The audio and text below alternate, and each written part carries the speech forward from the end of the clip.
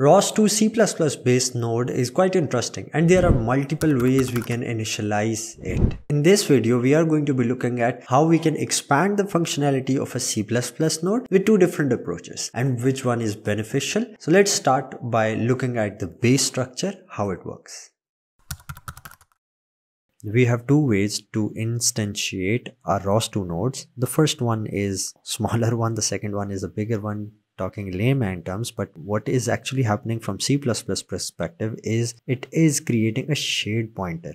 Std shared pointer is created on the other side in node b. We have inheritance concept of c++ which is deriving a class into our r derived named class. But both of these are actually taking features from rcl cpp node here you can see it is actually driving the whole RCLCPP node and its features. On the other side, it is just creating a shared pointer to RCLCPP node. The thing is, both are going to just run and they have nothing inside like subscribers, publisher, nothing. But the code here is big because of the driving of the class and we have to define the constructor. Now once we have done that, at this point there is no big difference in these, just number of lines are increased. But the main benefit is going to come up when we are going to add multiple subscriber and publishers. Let's first add one subscriber. So here we can see we have one subscriber on our drive class and a subscriber on the basic shared pointer based class. Code of this inheritance based node is now increasing, but the size of the code or the number of lines in the code of the basic shared pointer is not increasing. And the main aspect that you have to look into the flow of the code. Here we are creating a timer that at this specific time, which is one second, you are going to run this publish message thing. On the other side, we have less control here that you are going to just print out data with the rate of 1. At this point, both of these have same functionality and same output. The main difference comes in the next step where we have to introduce multiple publisher, multiple subscriber in one single node. That is not a good practice, but you can understand in depth what are the pros and cons of both of these.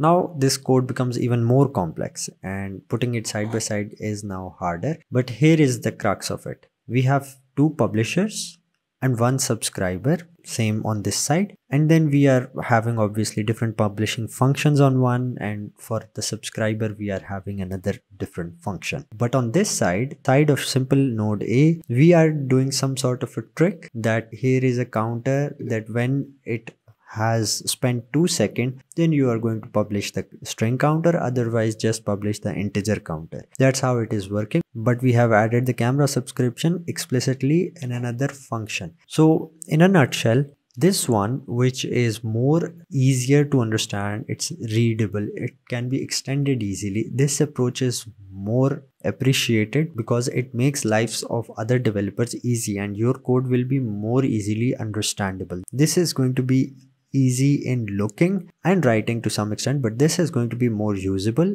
and easy to use for other people as well and keep simple context when developing. So everything is explicit here. Defined to specific members which are set to be private or public. This is our own choice. This is again a more control that we have here. And what we do we define it with different timing functionality that every one second publish this every two second publish this so this is different timing functionality. We are easily giving them. And on the subscription we are totally open to whatever time it appears but we can also control that. For all of these publishers we have these shared pointers and these are also private. So public private accessibilities and extension is easy. All of these features are for this derived class functionality which is preferred. And for this reason in ROS2 wiki the same approach is utilized which is deriving from RCL LCPP node into minimal publisher and minimal subscribe. It is using this approach as a standard.